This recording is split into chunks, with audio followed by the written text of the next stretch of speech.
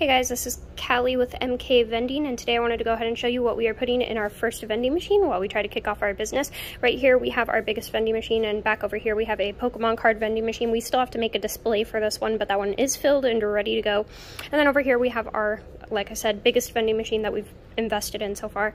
Um, we have a Fun Mix, a couple different candy options, and some sticky hands, fortune dice, more candy options, stickers, and more candy options. And then over here, we have our Pokemon card vending machine that has a 1 in 5 chance of opening anything greater than a common. We still have to get the display made for that one, but we do have an okay to place both of these. And then we are also going to be going and discussing with another business owner about possibly placing it at their location for a smaller commission. So we'll fill you guys in as we go, but we are just starting out and wanted to share the process.